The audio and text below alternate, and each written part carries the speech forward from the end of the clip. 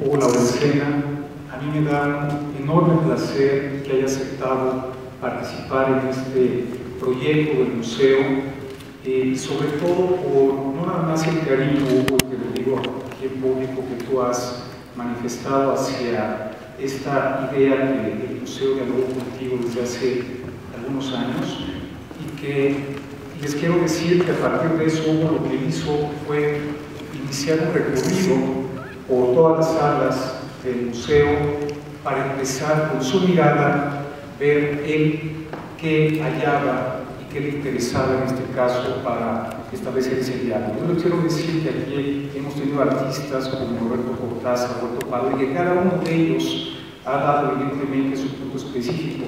Y yendo a, a, a Hugo, eh, a mí me dio mucho gusto que él estableció curiosamente una, un diálogo con artistas desde el siglo XVIII. Empezó, ustedes, ahorita que hagamos el recorrido juntos.